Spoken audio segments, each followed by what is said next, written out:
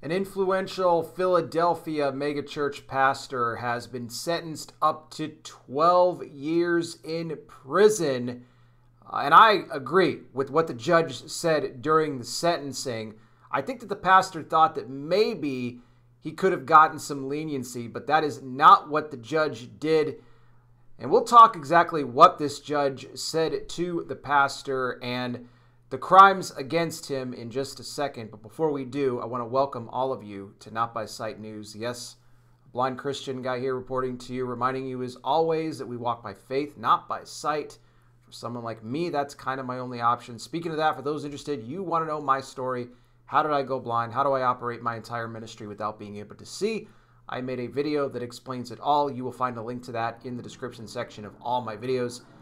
And if you really enjoy and appreciate my work here, and you guys would like to contribute with a donation to help me out, it would mean the world to me. As I've told most of you, I've, I've done videos on this and provided updates. My wife recently suffered a stroke uh, along with a vegetation on her heart valve. She has quite a bit of a recovery to go. We're very thankful to the Lord that she is now out of the hospital after spending in there for about a week. Uh, but medical bills are stacking up in a major way. In addition to that, she is going to be off work for at least six weeks as part of a home health recovery. Unfortunately, with that, though, uh, she will not be receiving any paychecks. So we are going to be without her income here for at least the next month and a half. So uh, if you guys enjoy, again, you appreciate what I do, and you would like to help us out by making a donation, to keep us going, you can hit that super thanks button on the YT video, or you can become a monthly contributor by joining my Patreon for as little as five bucks a month. Patreon.com slash not by sight news. That link is in the description. Again, I got to say a big thank you to everybody who is already contributing and those thinking of doing so. Thank you as well. Your generosity is greatly appreciated. Let's get into this. Pastor Mark Hatcher Sr. of, yeah, I mean, popular megachurch out there in, in Philadelphia, Holy Ghost Headquarters Revival Center, has now been sentenced up to 12 years in prison after his inappropriate behavior involving little ones. Now, let me say this because there were multiple charges here against the pastor. And, well, multiple victims here, but two of them, when I took a look at this, when I saw that two of them were his own family members. I mean, it's, it's already bad enough when you have inappropriate behavior involving a little one, but when it is against members of your own family, that's especially sick. One of them, one of them was only six years old at the time that it occurred, a six year old boy. Where this occurred back in 2000 between 2007 and 2008. Also, another one of his family members, a 15-year-old female who he had inappropriate behavior with going back to the year 2000. And then there was yet another victim, a 13 year old female who Mark Hatcher Sr had inappropriate behavior with in an abandoned house that apparently was linked to the church. And the victim had shared her story about what she occurred, what had occurred to her at the hands of this pastor. Now, Pastor Mark Hatcher has maintained his innocence. In fact, he even still continued to do so during his sentencing, saying, in fact, that, you know, he did not do these things that he is being accused of. However, he is praying for healing here for all of the victims involved. Now, let me get to the judge because the judge had something interesting to say. Mark Hatcher was, you know, leaning on hope here that his charitable deeds and all the other goodwill that he had done in the past was somehow going to influence the judge into, you know, maybe a lighter sentence, something like that. But that's not what happened here. Now, the judge had acknowledged that maybe Mark Hatcher Sr. had done some good deeds in the past.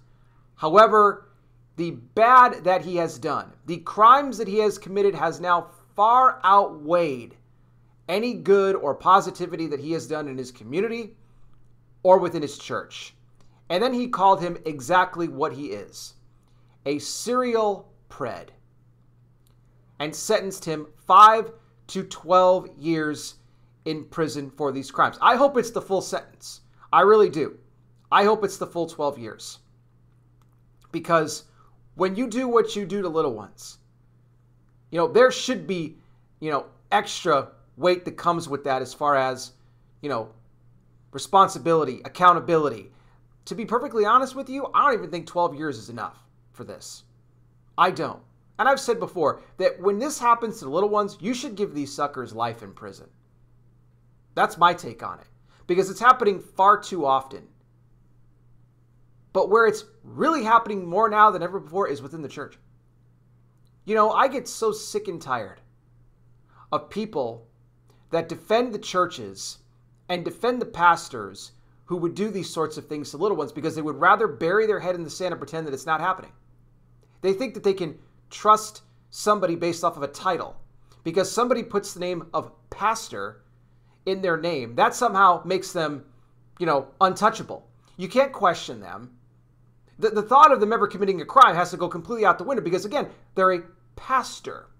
And who are you to question their authority? I mean, for crying out loud, doesn't the Bible say, touch not my anointed? Oh, but you see, the Bible also talks about how there will be false Christs, false prophets, teachers, all of that will come in the last days and deceive many. Let me ask this question. For those that like to hide behind the scripture of touch not my touch not my anointed, isn't there not another scripture that talks about how you will know people by their fruits and not their titles? You see, they don't like to go into those scriptures because what it does is it will take away their point. Now, am I saying that some pastors are are, are not not saying some are very much anointed and actually want to do good. No, not all pastors are bad, but at the same time, you have to use a level of discernment from the Holy Spirit to be able to decipher which ones are wolves and which ones are not.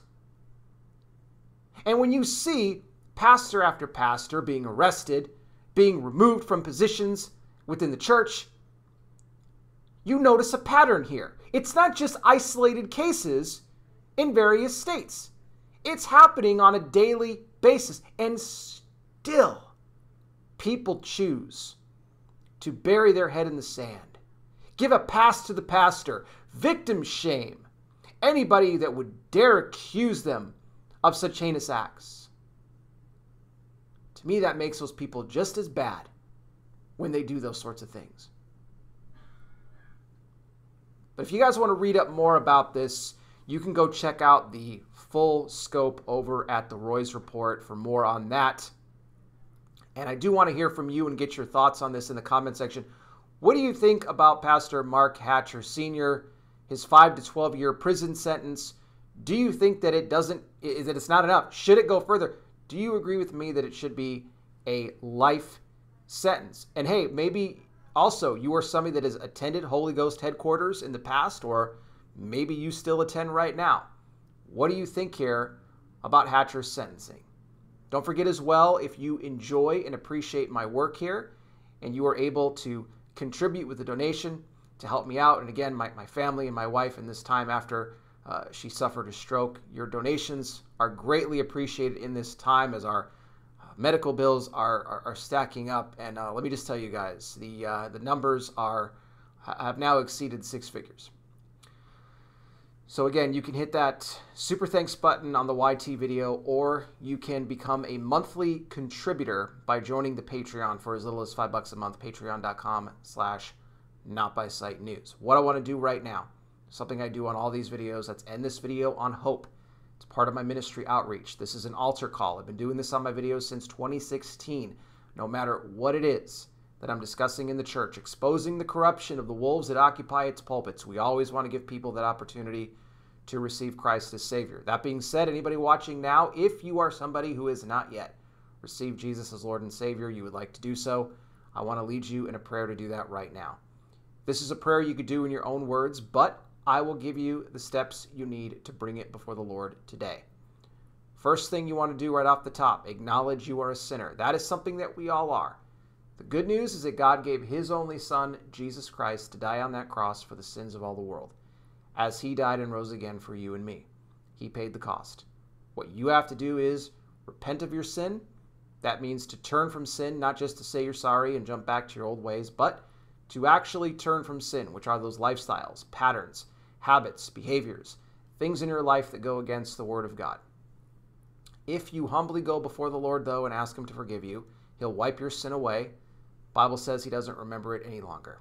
And then you invite Jesus into your life to be your Lord and Savior. When you do that, you become born again, a child of God. You will have eternal life. Trust me when I tell you, there is no greater decision that you will ever make than the one you do to give your life to Christ. And I pray you make that decision today. Again, more info down below. Thank you all again so much for watching. I really do appreciate it. I'll be back with more. You guys take care. Please be safe out there. God bless each and every single one of you.